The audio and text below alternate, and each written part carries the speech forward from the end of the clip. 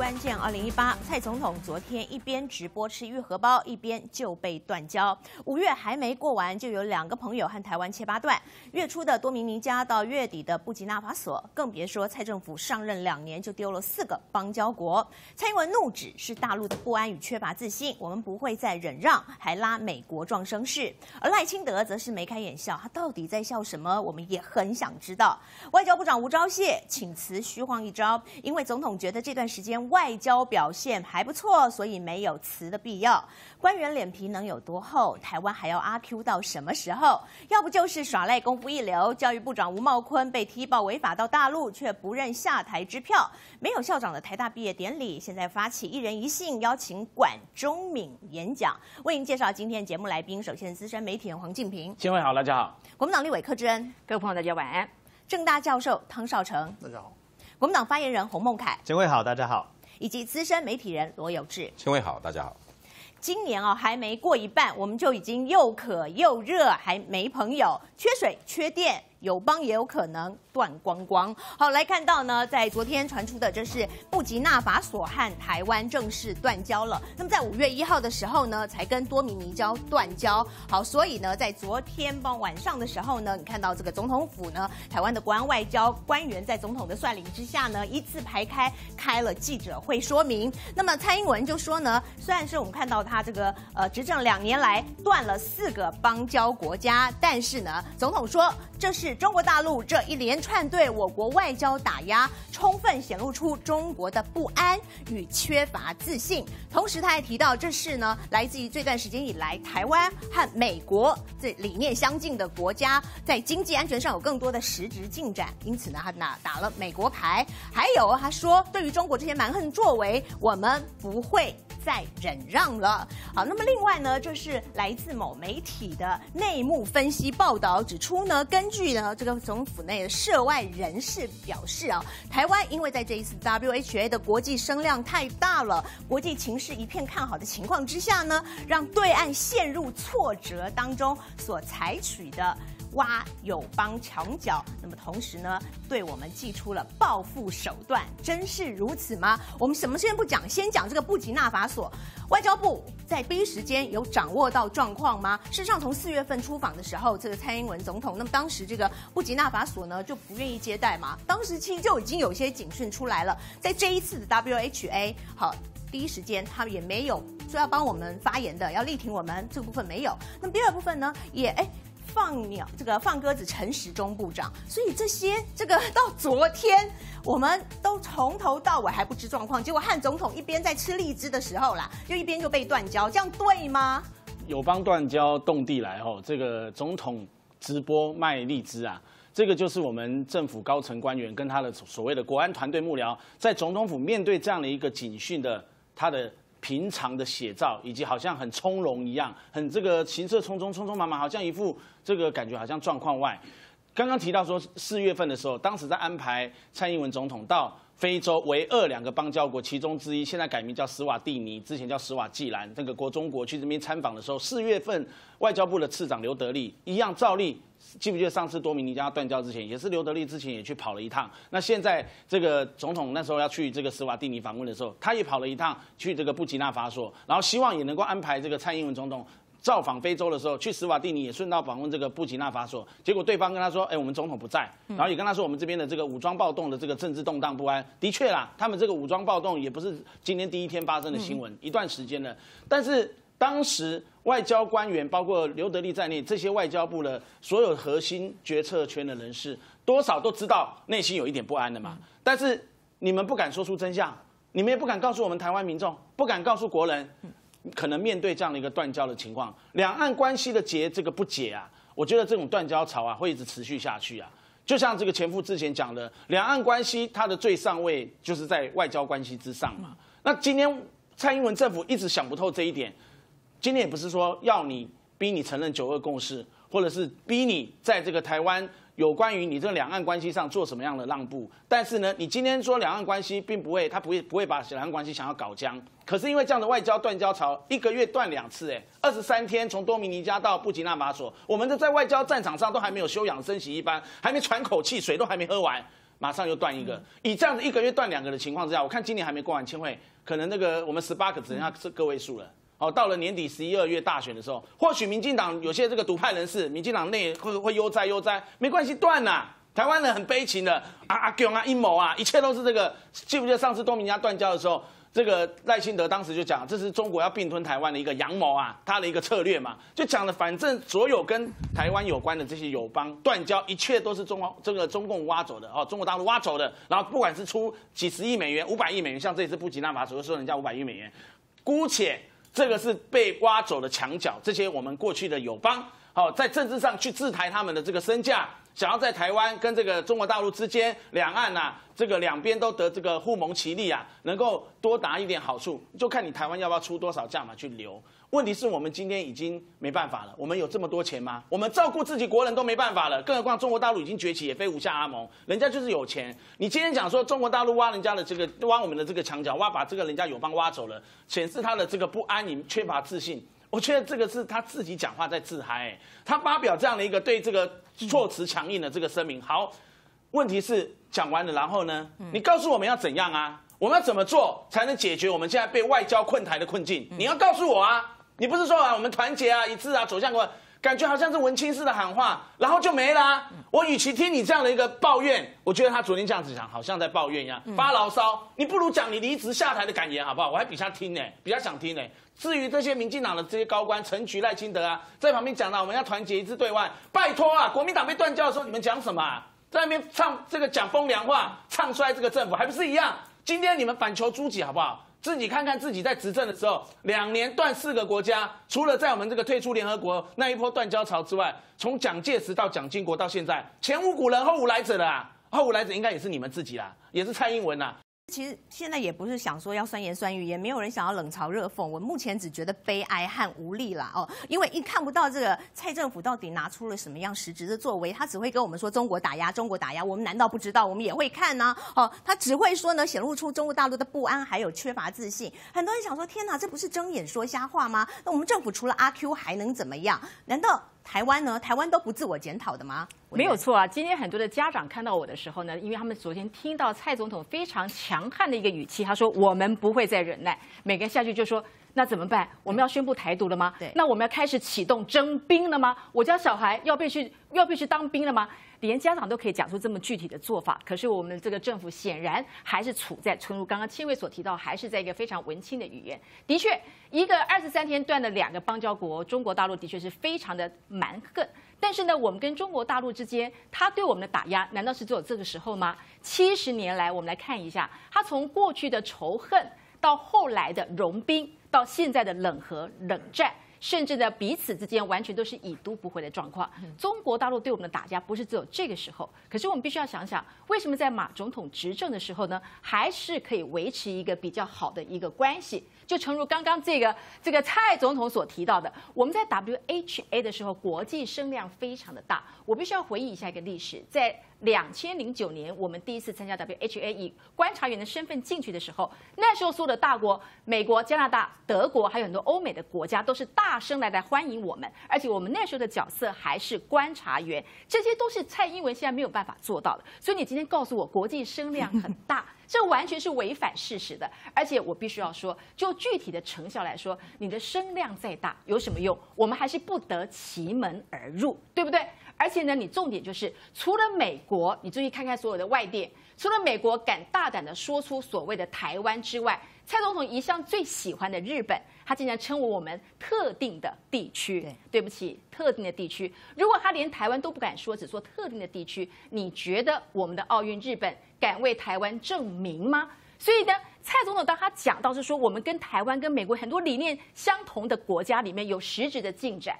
这些都是口头上，这些每个人都还是在一中的原则之下面说说嘴巴有什么不好，对不对？这本来就是一个大国该展现的一个风范，但是你不能因为大国开口讲这些话，你就认为跟我们真的实质上就有很强烈的一个进步。我觉得这完全是错估情势，而且我必须要再强调，今天大家的确是要共同对外，但是呢，当年马总统你不断说我们就是屈辱在所谓的一中的原则、九二共识之下面。的马英九卖台，这么久以来，马英九有卖掉台湾吗？那我们没有卖掉台湾，那马英九反而促进了非常多国际融合的一个关系，你都不去讲。我今天必须要特别说到，民进党党团今天在我们的立法院里面开了一个所谓的记者会，他条列的非常多，我们大概要如何如何，但是他的第五条竟然说。这个部分里面呢，绝对都是我们过去修兵政策的一个苦果。中国大陆早就准备好要把我们的邦交国等民进党一上台之后才开始抽取，这是什么神逻辑？那就表示。马政府时代的时候呢，也可以这样去做嘛。你今天就是你上台，所以他们才会做这个结果。你竟然还拿来缩嘴，我觉得这更烂。所以你说这个逻辑，这个逻辑对不对？这个连外交口令的逻辑都说不清楚，所以你就会觉得整个剧本真的是荒腔走板。我还是必须要强调。我完全同意，就是刚刚静平也特别提到的，所有的关系、国际关系、两岸关系绝对会是上位。你如果还从头到尾没有搞清楚这个样一个根源，没有好办法在这方做一个决策上去的一个执行的话，你永远都是在口头上面，而且一个再一个再的强硬，哎，就像小孩子吵架一样。啊，李维安诺，李维安诺，搞不好就真的来了。那真的来，你后续的动作是什么样？哎，家长的怀疑不是没有道理的，征兵真的要开始了吗？告诉我具体的政策是什么？不要只是在那边谩骂，然后要求我们团结。我们要团结哪一个？团结台湾国？团结中华民国？团结哪一个？你是不是要跟我们说清楚？所以，对于今天我们再次的被断交，我觉得我们整个整体的外交政策，对于两岸关系，真的要再慎重，再一次的去做思考。蔡政府的神逻辑其实还有一个，蔡总统就说中国打压呢，只会让台湾还有国际社会的伙伴关系更紧密啊。同时呢，你看也不断拿出了打美国牌嘛啊，说台湾和美国在这些理念相近国家经济安全上会有更多的实质进展。所以我要请教授问教授啊，就是你从这个国际政治的角度来看，打美国牌是有用吗？我们和美国又没有邦交。嗯哼，是这样子啊，就说北京对台湾呢。它是这个所谓的这个 vital interest，就是这个最高利益，或者说是这个呃核心利益。可是美国对台湾呢，它是叫做工具利益。什么叫工具利益呢？工具利益不是核心利益。工具利益呢，就说我对我有利，哎，咱们支持；对我不利，一脚踢开。啊，大概是这个情况。那所以说呢，你说台美国支不支持我们？哎，有时候支持我们。哎，可是有时候呢，我们就像是一个大石头一样的啊，他恨不得一脚把你就踢开了。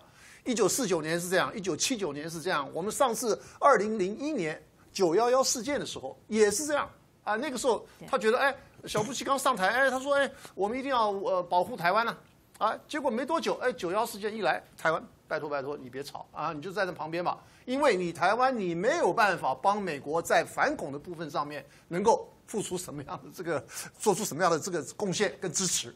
好，所以说呢，这个美国这个东西啊，我说美国这个因素啊是非常不稳定的。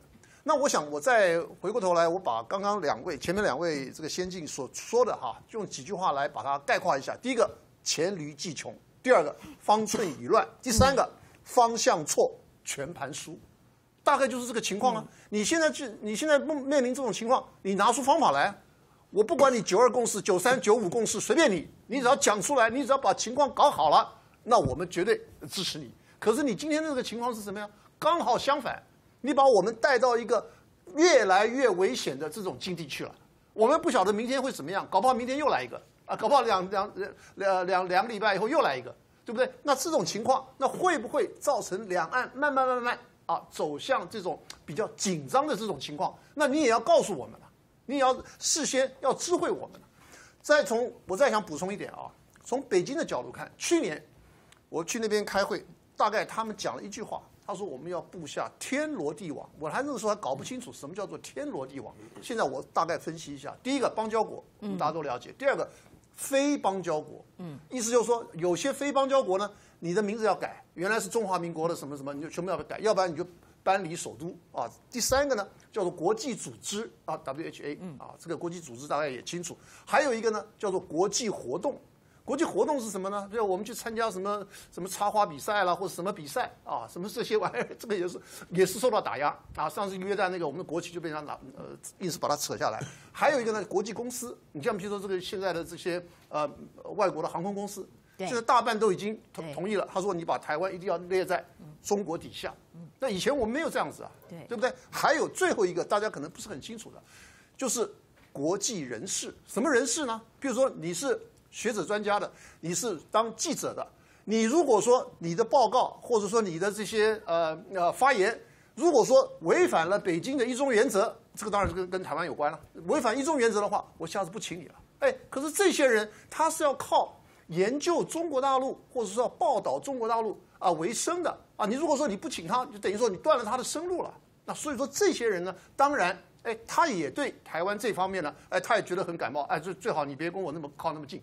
那所以说呢，在目前这个情况之下，我想再这个啊，重复一下，方向错，全盘输，就是因为你这个方向搞错了，所以说呢，落到今天这个地步。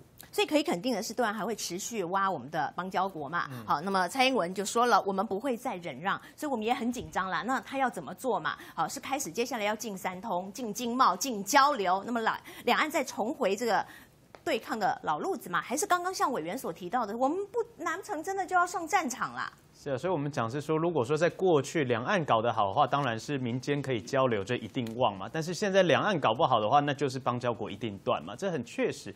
蔡英文其实，在昨天这样的一个西反应呢，真的是我们只印证了一句话，就是说，在内政搞不好的时候呢，就怪马英九马政府；那外交搞不好的时候，就怪这个中共的打压。但是一样道理嘛，中共的打压从自始至终，其实从以前到现在都还是持续的。但是为什么过去八年的时候，我们可以有务实外交，我们可以不用花太多的经费，可是我们持续维持了这些邦交，而过去民进党执政两年里面掉了四个邦交国，你这难辞其咎。还有更重点的地方在哪边呢？在于是说，到底我们的外交体系有没有失灵？我觉得这一点其实是很重要的，是让人家很心寒的地方啊。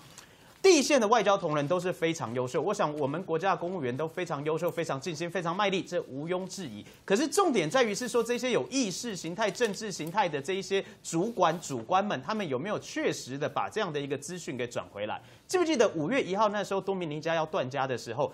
外交部长出来讲什么话？外交部长讲说，目前掌握的其他都一切稳定。好，真的有可能有比较危险的地方，还不是这一次断交的这个布国，而是那个叫做什么？叫做是瓜地马拉。哎，就没有想到那个时候讲瓜地马拉，我们还以为是说你在打预防针、在消毒。如果说真的之后瓜地马拉有什么变化，还可以讲说你是神预言，或是还可以讲说你是已经掌握到了。可没想到今天不是哎。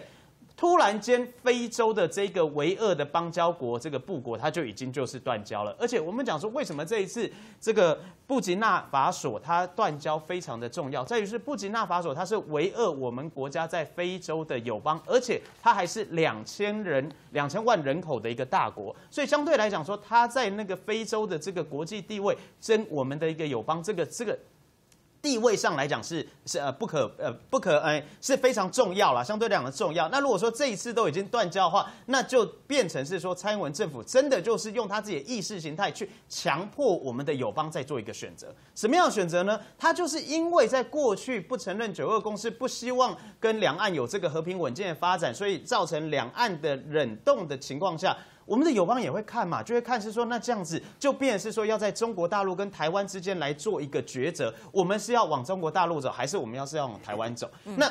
因为蔡英文政府，你让友邦有这样的选择，那当然友邦他们可能就会往这个比较有利的方向靠拢，又或者说他可能就会大势所趋嘛。所以我们讲是说，回归到一个重点，在于是外交的策略都是要建立在我们稳定两岸和平发展之上。如果说蔡英文政府在过去这两年持续的用他的政治意识形态来去操作，来没有办法好好的改善两岸的沟通环境的话，那你今天。不管你在讲什么样的这个凶狠、踩到底、极限的这样的一个话语，那只是证明是你生气嘛？可我们又讲是说，生气是本能，可是你能够把事情圆满处理完毕，那才叫本事，那才叫本领啊！今天我们把邦交国给用断交，其实邦交用断交有一个很重要的问题是什么？邦交国一断交之后，它就像什么？它就像断了线风筝，它就像变了心的女朋友，是永远都不会再回来了，是非常难回来的。而且更重要是我们过去金元的、我们投资的、我们努力的那一些经费，不就是付诸一炬，不就是完全消为乌有吗？所以今天真的，我们还是要回归重点，是蔡英文政府，你可以说清楚、讲明白，告诉我们国人。第一，你现在的两岸关系策略到底要不要因为这样子一个冷冻的错误的政策来跟全国人民道歉？还有第二，更重要的是，现在还剩十八个邦交国，掌握了多少情资？还有你剩下的邦交国有没有还是因为要你的政治意识形态来操作？如果说再有一个邦交国的损失，或者是说因为你这样的操作玩火的自焚的情况下，如果十八个邦交国全部离我们而去，那你到底要怎么样对国人交代跟负责？在前前两天，那个所罗门的那个总理来了，他说：“要请我请你，到底给不给？因为他是说他要二零二三年才举办这个运动会，对，哎，还有五年呢，还有五年。他说：哎，你先把这个资金准备好，那让我们好做准备。”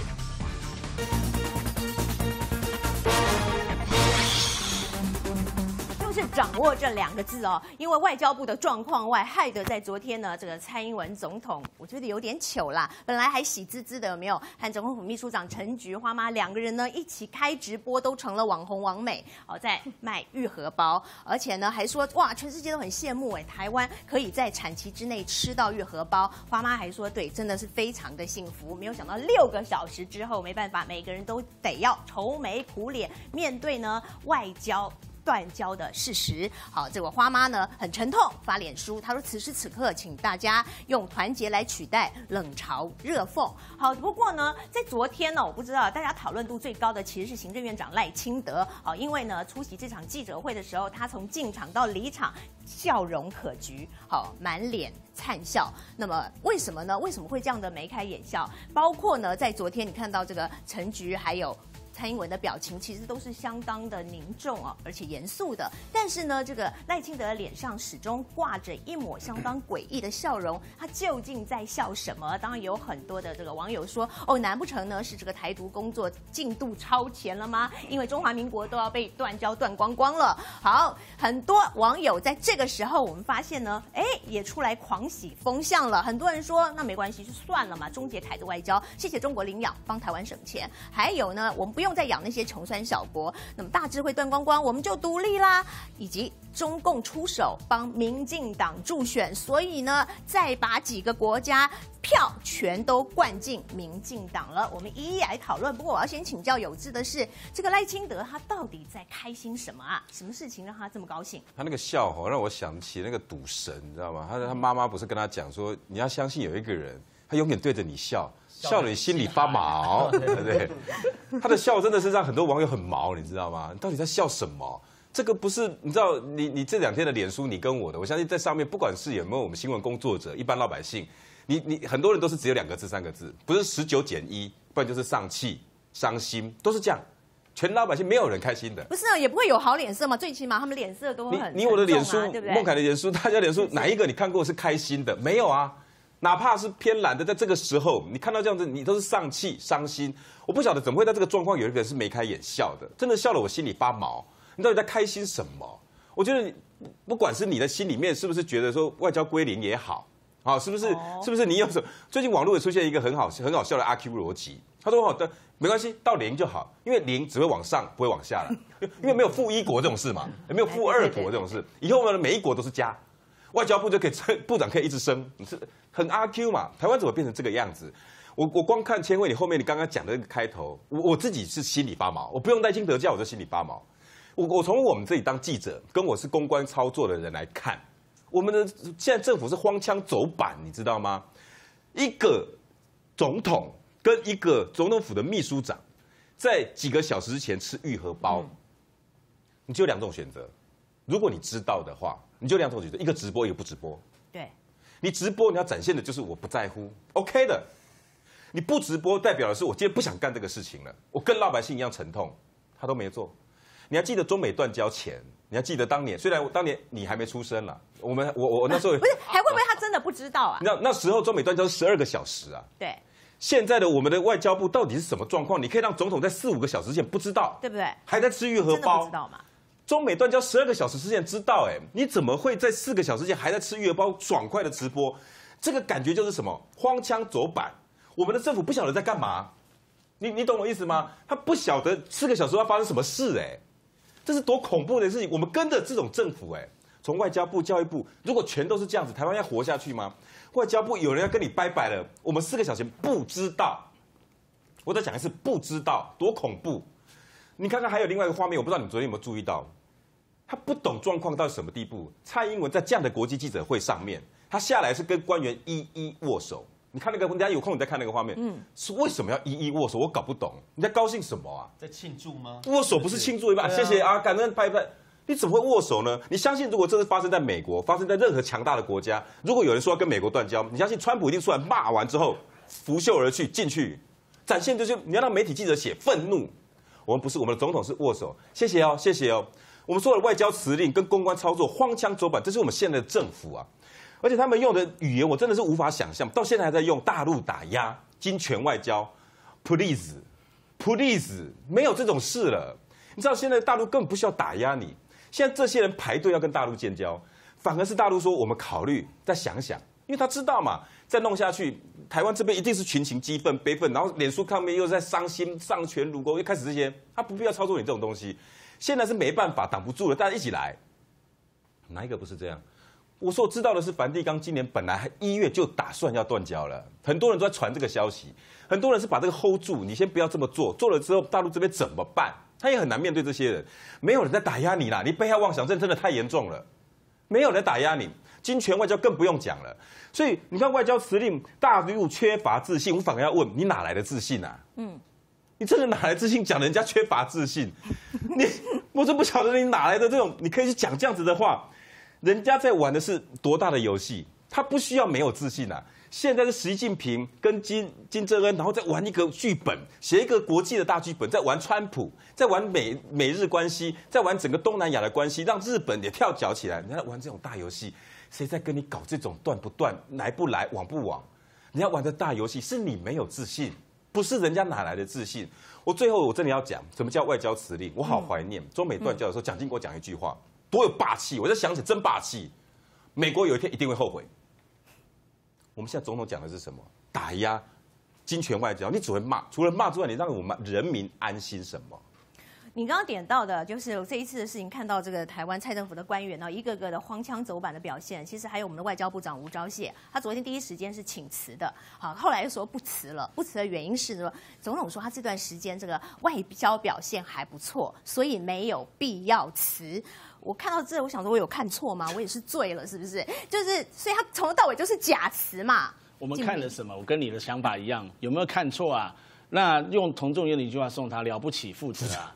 所以这个蔡英文跟呃外交部长吴钊燮，还有包括这个他们现在是整个国安团队，难道事前的这个讯息的掌握？都没有非常的这个充分清楚吗？尤其是这个布吉纳法索，刚刚其实有这几位来宾提到，在跟我们断交之前，都有一些讯息传出来，包括布吉纳法索的留学生在我们台湾念书，都已经收到消息，在询问他们是不是要转去大陆念书了，还是要留在台湾。这些讯息让这些学生和家长已经感到错愕，而且觉得不寻常。那你外交部是充耳不闻、充充眼不见吗？完完全全就活在你的这个平行时空的世界当中，等到事实发生之后，再来责怪中国大陆啊，又。打压啦，说怎么样？要塑造那种同仇敌忾的这个愤慨，少呆了。老百姓会像你这么无聊吗？大家会很无奈，会很无力，会会会会蛮不爽，会很难过。但是这一这一股这个力量啊，以及不满，你有没有想过累积起来，一直累积下去？随着断交国如果一直增加，从十八个往下掉的话，到时候是。到触底的话，就会跟这个政府、这个民众这样子反弹到你政府，反反弹到你民进党一模一样。那当然，有些人或许讲啊，掉断光光了，我们台湾就独立啦。嗯，所以台独工作者、务实的台独工作者才会灿笑成这样。你们不要把他心里话都讲出来嘛？对不对？真的是进度超前了，他也没想到，对，尤尤其是在蔡英文之内断光光，责任就不是在这个务实的台独工作者，我们的功德院长身上啦，对不对？到时候他就可以用着台独的旗帜，然后。大辣辣的就直接台湾宣布独立了，这简直做梦嘛！我觉得大家要醒一醒好不好？布吉纳法索跟二十三天前断掉的这个多米尼加共通点都很像。当然，你们一定说，因为都是中国大陆打压，打压我外交空间、国际生存我们台湾人都知道啊，两千三百万人都会背了，好不好？用膝盖都会想，就你们还在拿那个当台词，还在拿拿那个当理由。问题是，你们也知道这个状况，外交打压外，我那外交国际空间一直限缩。哎，我们还一直不断的去送东西。我刚刚讲布吉纳法索跟多米加，我们都送了不少军备。嗯，我陆军司令王信龙也跑去布吉纳法索送他两架直升机啊，那跟多米加上次一模一样啊。我们要得回来吗？还要给人家钱？那前两天来来我们的这个友邦又跟我们要了几亿元美元，说是战略性的、策略性的技术融资，然后给他们去办这个泛太平洋的这个运动会。我现在都怀疑跟我们要钱之后会不会跑掉、哎，委员，我真的现在都担心这样、哎会，我真的觉得担心这友邦，哎，我们欠八亿元、九亿元、七亿元美元啦，资助我们一下，会跟你们融资贷款或者无息贷，不管怎么样，你用什么理由都就是跟他借钱，跟他要钱，拿了是不是跑掉，然后跑去对岸？那这些钱如果来帮助我们中华民国国民，我们现在人民的低薪、人民的苦日子，然后物价上涨成这个样子，救救我们吧！你一直在救友邦，那大家会觉得对这些断断交，当然我刚刚一开始讲无感、无力，然后无奈，但是慢慢的这些国家断交了，你问问很多的观众朋友们有多少感受？嗯，还是觉得说以前国民党你们就是国民党在执政的时候被断交，你们讲的这个冷言冷言冷语这样子嘲冷嘲热讽啊？那现在换成你们了，因为当时人民众用选票把国民党换掉，认为说他跟中国大陆立场哦，跟这个两岸关系搞得很好，结果你看国际空间还是这样。那换掉了这个国民党当时执政的情况，换成民进党会认为你很很好啊，你们不要靠中国大陆，也可以杀出一片外交血路，打出一片空间。结果没有啊，更烂。像刚刚委员跟老师讲的，所以今天让大家看到你们这些团队排排站，好像阵容超前，作为小英总统的这个他的一个后盾。但是我想，我想到的是，原来你们这群人就是那个露出很多很蹩脚的这个施政，让大家觉得说你们在外交上还有没有 paper 啊？就算你无招谢辞了好了，你你你又不辞或辞，你能阻止这些断交国这样的一个外交战能够停歇吗？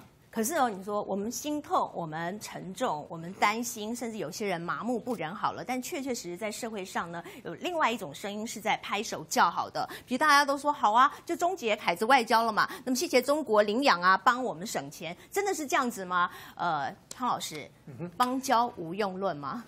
这个我觉得实在是没有尝试的一种民粹思想啊。因为一个国家如果说它真正要成为一个国家的话，它当然有它的这个具备的要件啊。我们大家都知道啊，领土主权啊、政府啦、什么等等。最后还有一个就是国际承认。嗯，就说你是一个国家好啊，可是大家不把你当回事儿，把你当空气，那你还是一个国家吗？嗯，那所以说这个这个问题，我觉得也是非常非常清楚的一件事情啊。现在我要讲的一点呢、是说，刚刚各位讲到了说这个呃吃吃荔枝啊什么的，我觉得那个就是一个非常讽刺的一个画面啊。意思就是说，已经为难到这个地步了啊！你还是好 像不知不觉，而且以前这个我们有一部电影叫做什么“一江春水向东流”嘛，就是说前方吃紧，后方紧吃，对不对？这刚好就是这个情况嘛。那另外一点我还要讲的就是未来啊，现在的情况很简单，将帅无能，累死三军，就是大概就是这个情况。因为外交部里头的这这个人员，我觉得他们是非常非常辛苦的啊。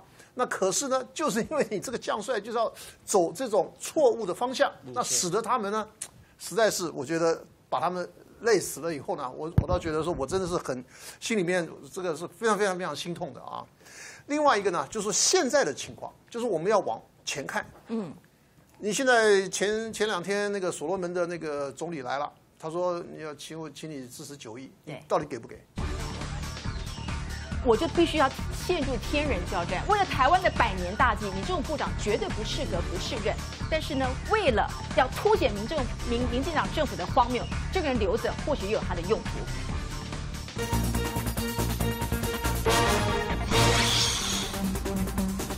因为他是说他要二零二三年才举办这个运动会，哎，还有五年呢、还有五年。他说，哎，你先把这个资金准备好，那让我们好做准备，好到他们那边做运动会啊，比较哎定案了啊，他们那边可以来做下一步的这个规划。哎，好了，那你给不给啊？哎，好，那其他国家，其他国家。我大概可以概括一下，我并没有歧视的意思啊。我们现在的跑小朋友啊，大概就是三个特色：黑、穷、小。哦，当然了，我没有说，我刚刚讲了，我没有说没有那个歧视的意思啊。可是他们就是这样啊。那这样子的话，那他要跟你好，那那你要那你要不要付出代价？你当然是付出代价。这个意思也就是说，我们现在就是在买着他们来支持我们，这很简单的道理嘛。那现在好了，那你现在面临到这种情况了，那你要不要继续支持？那你继续支持，如果再发生这个情况的话，那我看你你怎么样来向国人交代？你怎么样来向国人来自圆其说？那我觉得这个就是一个目前他们所面临到的一个最大的困境。好，不过刚刚提到呢，心痛痛心，我是蛮痛的啦。刚刚缴完了税哦，可是我们缴的税呢，养的是这些国安外交人员，就害得我们邦交国一直丢一直掉。那么同时也养了这样的教育部长吴茂坤。好，来看到呢，在昨天呢，我们今天这个呃国民党立委柯震也来到我们现场啊，请他等一会来跟我们说明昨天在咨询时候的细节。那么主要呢是他翻出资料，就是吴茂坤在零五年担任国科会主委的时候，有到大陆苏州演讲。那么之后没有经过。私下没有申请之后呢，他就转往杭州了，所以这个部分。他说违法要下台吧，对不对？可是说自己从来不会犯错、没有做过错事的教育部长吴茂坤说：“哎，他记忆当中两个他都有申请，但如果有违法，他就下台。”没有想我们科委员呢，记住了他手上有资料，啊，确实他杭州行程根本没有申请，百分百是没申请的。那吴茂坤就说：“哦，他改口了，那就依法办理，看行政院长要不要让他下台。”这我们也真的非常的傻眼。那么大家呢？都已经点名他要下台了，就是在五月十八号的时候，是全教总发起的五一八抢救教育部行动。可是当时呢，吴茂坤也在装傻，他说我不知道为什么我要下台。好，还有呢，即将六月十号台大的毕业典礼，史无前例，史上首次，从来没有校长的毕业典礼，所以毕业证书上面呢，可能也没有校长的名字，怎么办呢？现在台大毕业生呢？一人一信，要邀请管中敏出席，同时致辞演讲，这完完全是打脸教育部打到底了。好，不过这个治安委员、教育部长吴茂坤，嘿，他怎么样？他现在又不认账了，是不是？当初他自己开出了支票，说我有违法，我就下台，哎，结果现在怎么又闪闪躲躲了？没有错，这我我想那个吴茂坤部长一定常常吃玉荷包，因为一天到晚在出包啊。然后你问他所有的问题哦，他完全就是前后不一致。我可以耍赖到底，我们好像也不能对他完全跟我们是活在不同的时空、平行时空当中。所以你所讲的礼义廉耻，完全不在他的脑袋瓜的认知觉知当中哦。我必须要说，这就是很明显。各位，你知道吗？我们完全讲究两岸一定要做很好的学术交流，这完全是可以确定的。可是，就从此管中敏的事件开始，好像把跟对岸去做一些的交流，变成是一个不得了的不好的一件事情，要使出洪荒之力，要不断去彻查你到对岸到底是兼职还是做哪一些的事情。这完全是民进党政府搞出来的。当你如果要用这个标准来去检视所有的这个所谓的行政官员，那我们就一号来检视。完完全全百分之百，这个逻辑很简单嘛。他去苏州，因为是个国际会议，他经过申请，这个科技部也帮他背书，绝对是这样子。而且科技部已经告诉大家，九十三年到九十五年，他在当国科会主委的时候，就这么一笔，就是到苏州去。那至于杭州呢？他是在苏州参加完会之后的三天之后转到杭州。杭州是绝对不可以的，为什么？因为根据我们台湾地区公务人员附录的这个服务的这个办法第九条跟第十二条，就很明显感觉出来，法律上写什么？任何中国大陆主办的会议，你不能去演讲，你也不能去参与。在杭州的部分就是浙江大学，浙江大学总是中国大陆吧，对不对？中国大陆主办的，所以你不用调出什么资料，他就是不行去。那如果他可以去去的话，那当初核准的那个那个官员就要受到最严格的惩戒，而且他并没有这个资料，所以我敢打包票，百分之百他就是违法。可是他永远就告诉你。你面对这么皮的部长，我真的觉得我不知道该怎么办。我在活了这么久，学了很多心理学，我都觉得我要去心理咨商了。你不管你跟他讲任何的一件的事情，他就会告诉你，好像是这样子，好像是那样。你问他管中敏可不可以当校长，他说一下可以，一下不可以，从头到尾没有一致的一个说法。但是我必须要强调，为什么我今天对这个教育部长完全要使出我的洪荒之力，一定要让他来做一个认罪？因为呢，从来历届没有一个部长会引发这么多教师团体，这么多。家长团体站到街头来反到底的，过去教育我们必须要说，他是部长当中是最没有政治色彩的，唯有这个杜正社。可是呢，他这杜正社是把台湾地图给倒下来啊，三只小猪等等之类。可是他已经超越杜正社的层级了。真的是没有看过一个是如此的用用这样子的一个角度来解决所有的教育问题。我必须要说，不是只有把管的问题，问他所有包括退场条例，包括幼教法，他完全回答不出，什么名词都搞不清楚。所以呢，你如果要用这个教育部长，除非你给他一个完全的任务，否则你用他干什么？这个任务就是拔管，但是拔管的戏码还没有解除，所以这个人可能会继续待着，会撑着。所以我就必须要陷入天人交战，为了台湾的百年大计，你这种部长绝对不。不适合不适任，但是呢，为了要凸显民政民民进党政府的荒谬。这个人留着或许也有他的用途，但是我还是要强调，面对这么多违法的事件，我们的发言人徐国勇还来告诉我们闯红灯事情，我就只能告诉他，吴茂坤闯红灯的市政已已经确定了，你徐国勇要销单吗？你不要到时候给我已读不回。当我拿出证据的时候，请行政院好好给个交代。违法就下台，这是每个人所讲的。事实已经证据摆在这个部分，就看行政院怎么来接招。全世界都知道他违法，就连自己人法务部政次蔡必仲也说他违法。他说吴茂坤违法不代表管中敏可以违法，那你等于就间接认了吴茂坤就是违法嘛？是啊，所以说这真的是不知道是神队友还是猪队友，就是认证这个是法务部次长认证的吴茂坤是违法这个例子。不过我先讲一下这一次今年台大的毕业典礼哦，台大毕业典礼，因为我也是在现现职的学生，我也即将今年毕业。六月十号毕业典礼，我前天已经收到了邀请函，邀请所有家长，邀请所有在学学生、应届毕业生要去参加毕业典礼。六月十号上面那邀请函上面，我们看到真的非常的痛心，写的是邀代理校长郭大为主持。为什么一个台湾大学，一个国内的最高学府，居然是一个代理校长主持毕业典礼？你说让所有的这些家长，让所有的这些学生情何以堪？我们说台大难道是临时的学校吗？台大难道是一个违章建筑吗？为什么到现在这个即将满百年的台湾大学，居然还是一个代理校长来做一个主持？追根究底，不就是因为你这次教育部本来二月一号可以管中敏如期依法上任的校长，你把他卡管把管，直到现在吗？而这一次今年毕业的这个毕业证书上面很有可能也是代理校长。我觉得是说，当这些代理校长，或者说当这些邀请函等等的这些事情全部都留下来，变成是一个历史文件的时候，其实一点一滴都是在打脸蔡英文政府。因为蔡政府的盲目，因为蔡蔡政府的这样意识形态，真的是让台大全都蒙羞了。而我们刚刚上一段节目还有讲到是说，蔡英文还有时间在吃愈合包，外交的事情。即将要断交，你没有掌握到，所以你吃愈合包。那国内最高学府台大校长现在已经临缺了快四个月的时间。你身为一个台大校友，你身为中华民国的元首总统，你难道没有一个责任，应该也要对这件事情表个态，说句话，或是来做一个公正的处置吗？你的部长，教育部长是现在如此那么有争议的，而且在立法院有那么多的一些证据，那么多的一些数据，全都告诉你说，你这部长过去的行为已经造成违法了，而且这个是罪证确凿、明确事实，你不出声。今天台大没有办法，四个月了没有校长上任，最高学府我们的龙头，我们的学术没有办法比较国际的竞争力。台大管中闵没有办法上任，你不出声，你在吃愈合包。而我要再跟观众朋友讲一声，为什么总统在吃愈合包？总统府的说法是说，因为几个小农写信给总统说，因为他们愈合包盛产的不好卖，希望总统帮个忙。哦，原来我们中华民国的总统就是一个直播姐，就是一个直播主，就是一个网红，而且等着人家写信给他来做这个直播。那这样子，台大校台大的校校友们，能不能我们也来写个信？一人一信。对，一人一信，邀请管中明来毕业典礼，也邀请蔡英文也开个直播五分钟，我们来讲一下台大校长案。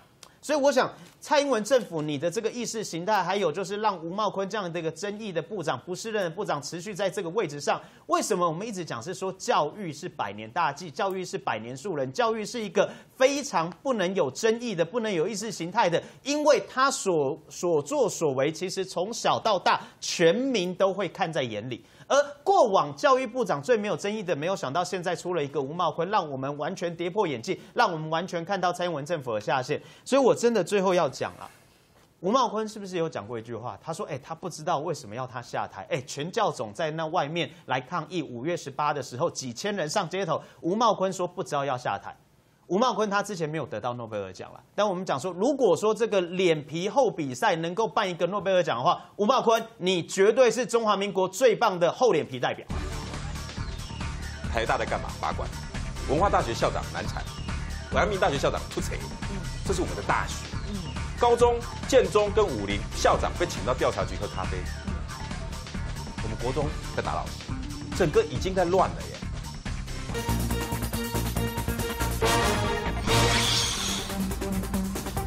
育被这样恶搞啊，搞到现在，我们看到台湾整个高教竞争力下滑，那么人才流失，还有精英出走，这问题真的很严重哎，大家都不留在台湾。你看那种十七八岁的学生，大家要去大陆念书啊。因为其实不止高 不止高教了，我记得我一直在也是在这个节目，那时候把管的第前几天而已，我就讲了一句话，但是被人家骂。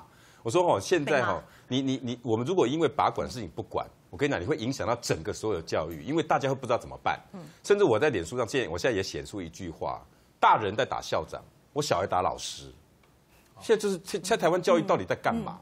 因为有样学样嘛，人家说上梁不正下梁歪，上面的在打校长。我在下面打老师有什么不对？当然这是玩笑话，可是你想的痛不痛？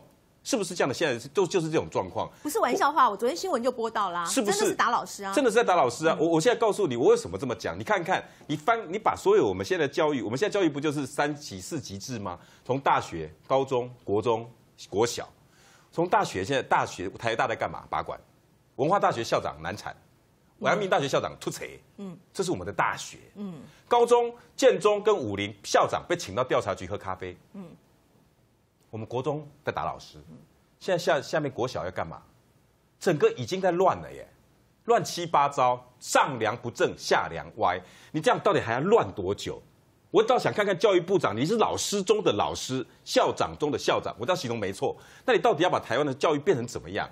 我觉得打小孩也不会只有一个而已，你还你要不要往下去看这些？你如果把你心爱的这些老师，你成立一个私密的社团，你在这边讲话不负责任没关系。我告诉你，绝对老师会所有的老师灌爆你的网站，多少人要抱怨，他有多少事想抱怨，只要坐在那边就有多小朋友在收集老师骂人的资资料。